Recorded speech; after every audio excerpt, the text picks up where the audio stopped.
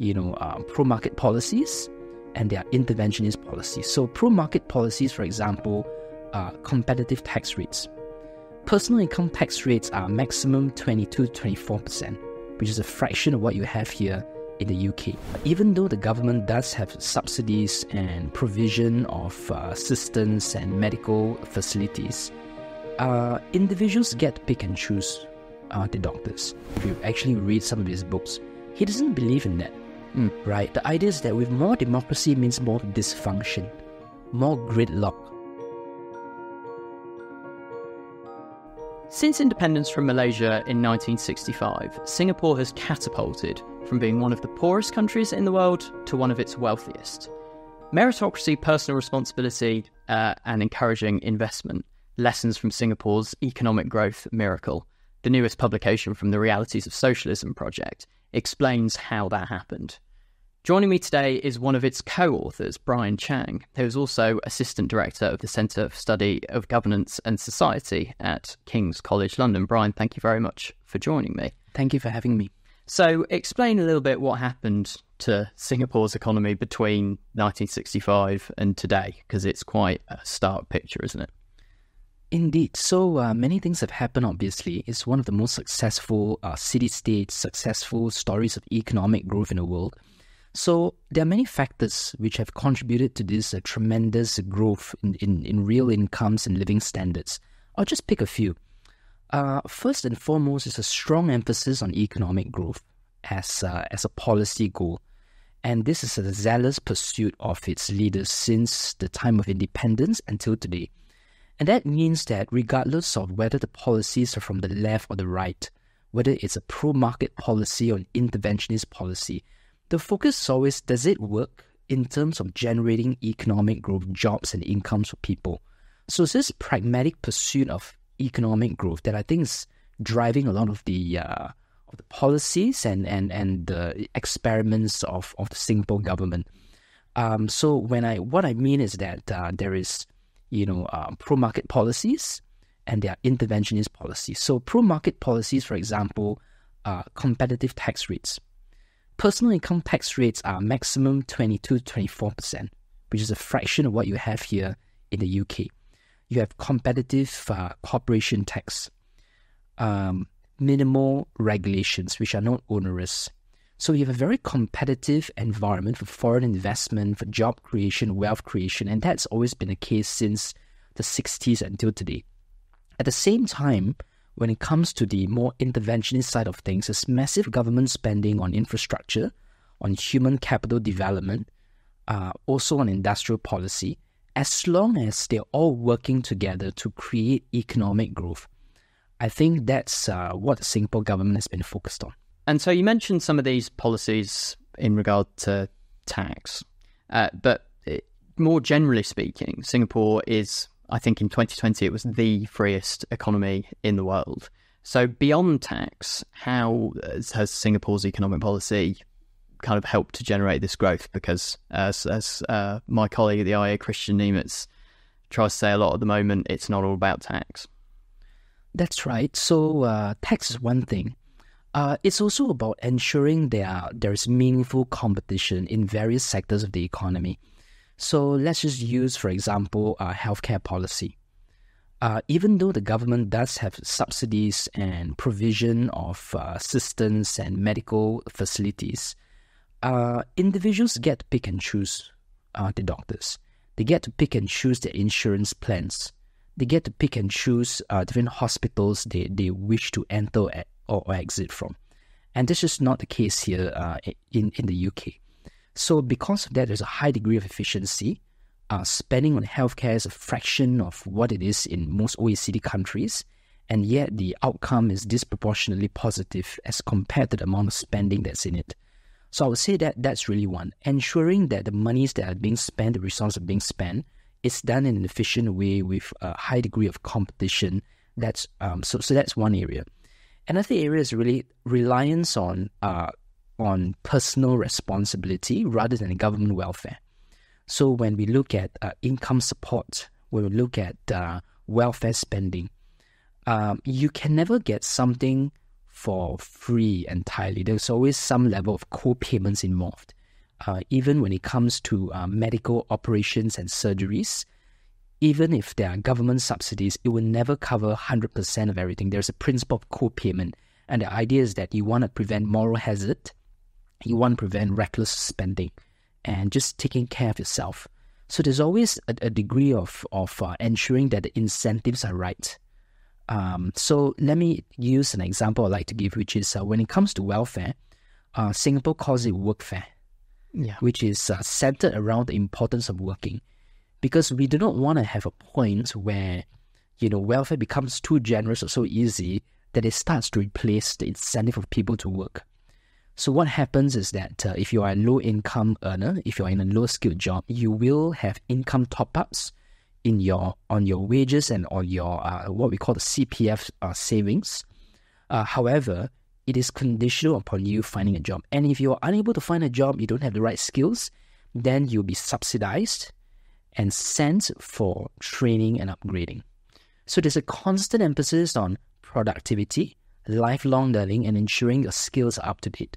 That's why you we are helping you to help yourself, as it were, so that you can find a job and can be a productive member of the economy. So there is government provision of welfare, but it's never to the point of replacing the importance of hard work. And that, so, so there are a couple of things in, in what you said there that I'm keen to touch on.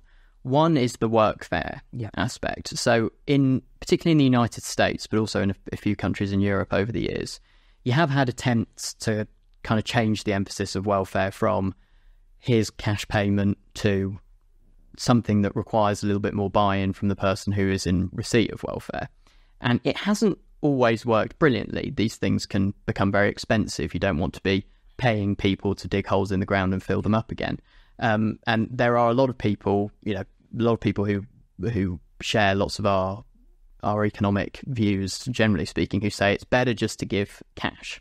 How does Singapore avoid the the pitfalls of workfare in terms of how expensive they are.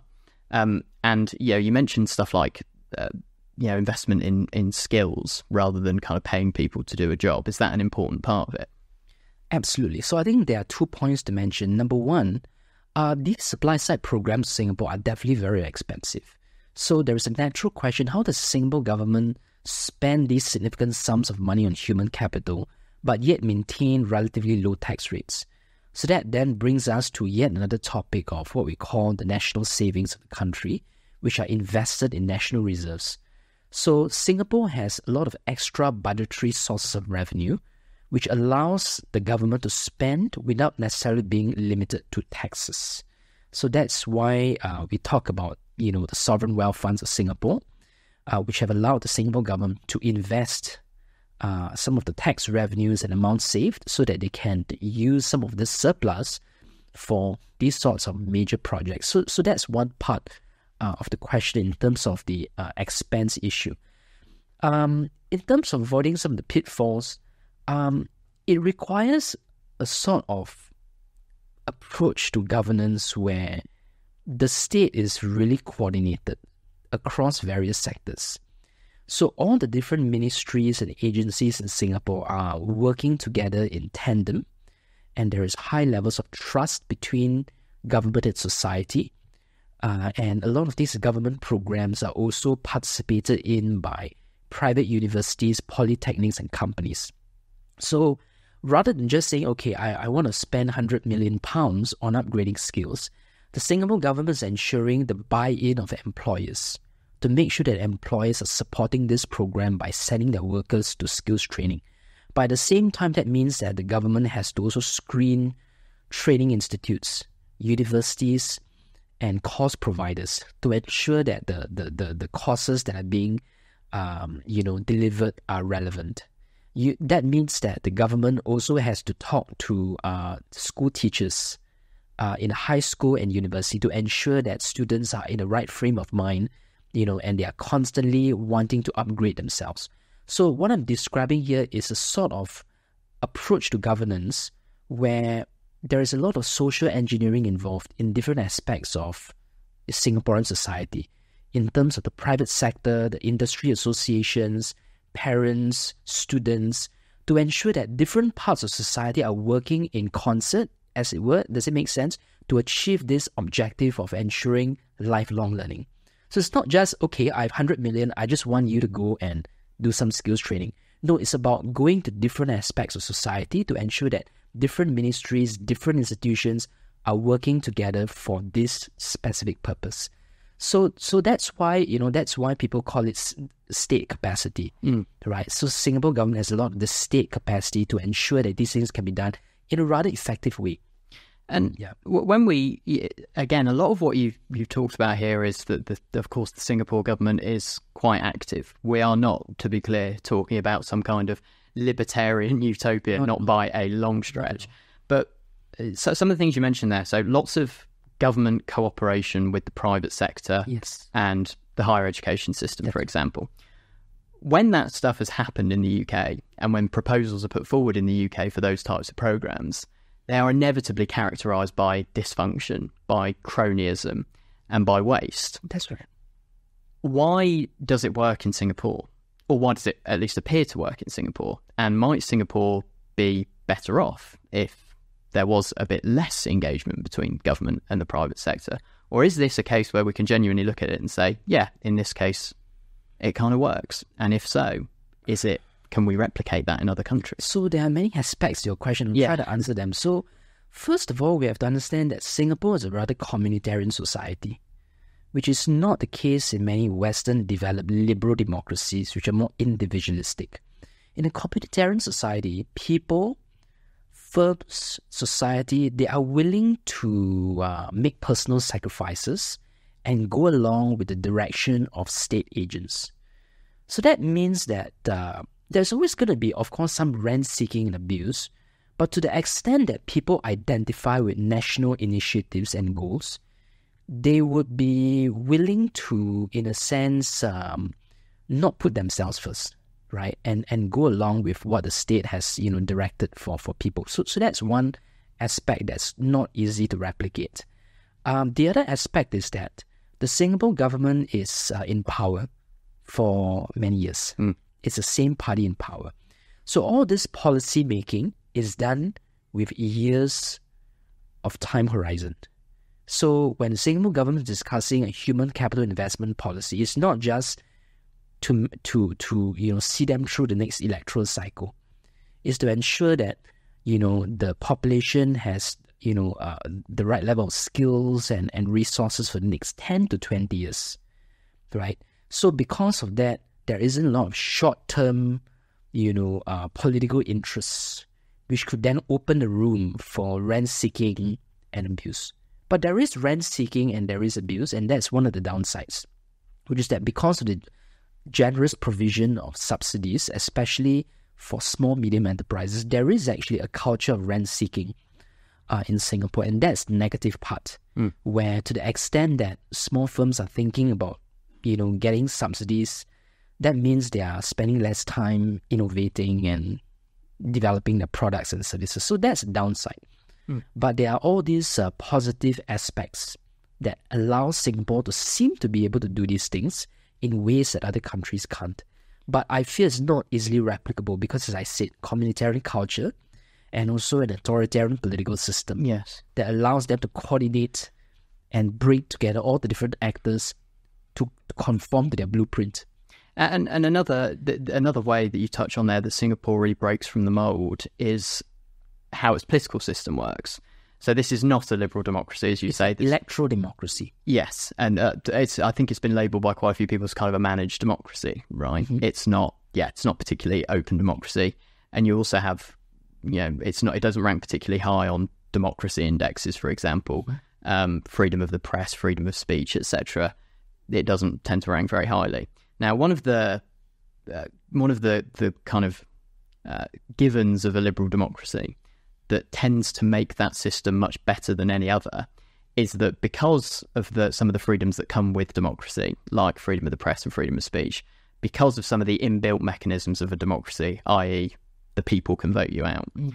That that creates a lot of feedback mechanisms yeah. to kind of root out bad ideas within government. That's right, and that's that's sort of the the the theory and, and in a lot of ways the empirical fact of why liberal democracies tend to outcompete their authoritarian counterparts, whether communist, fascist, or, or whatever else. But Singapore isn't a liberal democracy. It lacks those feedback mechanisms. So, whereas one advantage might be we can plan for 20, 30 years without worrying about elections, the elections often transmit vital information. So, how, in what way does kind of Singapore get around that? Is it because everybody's on the same page to start with? It's a great question. So you talked about the benefits of liberal democracy in mm. terms of competition, generation of feedback and information. Um, from the Singaporean perspective, especially Lee Kuan Yew, if you actually read some of his books, he doesn't believe in that. Mm. Right? The idea is that with more democracy means more dysfunction, more gridlock, more, you know, discussion. It's a hindrance to him. It's a hindrance to an effective technocratic state having the power to do what is necessary. So goes this goes all the way back to Plato, right? So the analogy I like to use is if you are, you know, flying on an aeroplane, you definitely do not want to have an election, you know, to take votes and see who is most popular and who can therefore fly the aeroplane. You want to allow the most capable individual to be the pilot. So similarly, you know, uh, in Singapore, we believe in a political meritocracy. Yes, of course, it's democratic election, but it's more of a political meritocracy slash technocracy where we try to hire the most capable individuals. Uh, and that's why a lot of the civil servants and politicians are, you know, top talents uh, from the private sector, engineers, architects, doctors, lawyers. And the assumption is that when you attract these talents, you pay them exceptionally high salaries, then that's how you're able to generate good policies it's not by having more discussions, more forums, more deliberation. No, it's it's it's based on the assumption that intelligence in society is not equally endowed and available. Mm. Some people are just naturally more smart and capable, and that's why we just need to, you know, find these people, reward them, put them in government, and that's why I, want to say one more thing. Mm. It was a controversial policy in 1980s where Lee Kuan Yew uh, had this thing called the Graduate Mother Scheme, where he was uh, having a policy to promote more childbearing um, by couples who had university degrees, right? Because the idea is that if you are university educated, chances are your son and daughter will also be more intelligent. So it's a form of eugenics. Sure. Right? Uh, it was criticized, it was mm. not passed, but it does reflect um, the philosophy of governance yes. in Singapore and how that's not so democratic. And uh, but Singapore is not the only country that adopts that type of approach. So you have more democratic countries that are highly meritocratic in their sort of civil service, for example, like South Korea, maybe. But that that approach you just laid out in Singapore about meritocracy and how that kind of sets aside the need for things like liberal democracy. Yeah, it's also a view very widely held in China. And right. and we saw that for a long time the Chinese economic plan was going quite well. But right. COVID sort That's of right. revealed the flaws in, in its lack of liberal democracy. Mm. You know, locking down for much longer than the rest of the world, for example, increasingly isolationist. It's always been an accusation levelled against liberal democracies that that argument and and annoying barriers like elections and political dissent are causes of dysfunction. And yet, over the long run, they tend to win. And so we're already seeing in a place like China mm-hmm. how some of the lack of liberal democratic institutions are undermining decision making. But it seems like we haven't seen anything like that in Singapore. Is it just that, I don't know, Singapore is just better at meritocracy? it, it is, you know, it just has had throughout its history the type of people who are just genuinely good at what they do and, and maybe they got lucky. So one thing about maintaining this sort of political meritocratic system is that it really does rely on leaders and specific individuals who do have a sense of public interest and not try to abuse the system, right? So I think the best explanation of it is that you know Singapore is is quite a young nation, and uh, they have been lucky enough to find uh, leaders to run the machinery of the state who are generally quite, uh, you know, public spirited, right? Um, but the problem is that over time, uh, it's, it's quite hard to find these individuals, and therefore there's an issue of leadership renewal. And as you go down the line, you know, the, the sort of talents that people that you have um, be have higher tendency to abuse the system and to engage in and to engage in corruption. So I think uh, the jury is still out, uh, and we need more time, more years, more decades uh, to see what happens uh, down the line in Singapore. But I certainly agree with you. Uh, this is not a perfect policy. In fact, a lot of my research, I think I should mention it for the viewers, so, uh, has also been very critical actually of this system. By no means am I defending it and saying it's better than liberal democracy right? Uh, in fact, one of the, the, the real weaknesses um, is a strong lack of uh, creative innovation. Because in a system where people uh, color within the lines and uh, you know follow the state's blueprints, that's also a system which doesn't promote um, you know creative thinking, and that's why indigenous entrepreneurship, creative culture, creative industries in Singapore is extremely weak I've documented that in my research. Okay. And eh, so one of the, the, final things I want to turn on, which I think is, again, very unique about Singapore, we, we are talking about a country that, in so many ways breaks the mold um, that we usually analyse countries through, is education. So you, you talked about the strong culture of education, how important that is in every aspect of Singaporean life and policy making. Um, it spends, I think, roughly half the average for a highly developed country on education. Um, and yet, its outcomes are among the best in the world. Um, you know, if you compare educational outcomes between the UK and Singapore, Singapore streaks ahead. How does that work? Um, so there are many aspects to this. Uh, number one, I would say, is because Singaporeans, in terms of the culture, do place a strong value in education.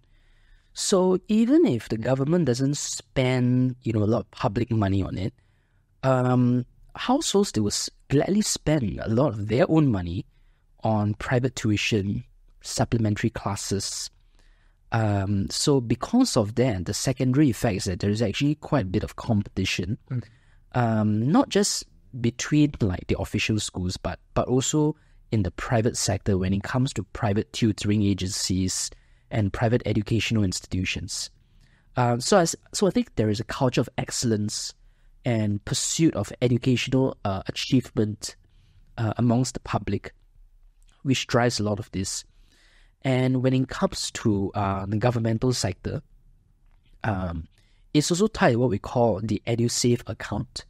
The EduSave account is an education savings account which is part of every individual's Central Provident Fund CPF account, uh, which allows individuals to accrue a portion of their monthly income into this pot of savings.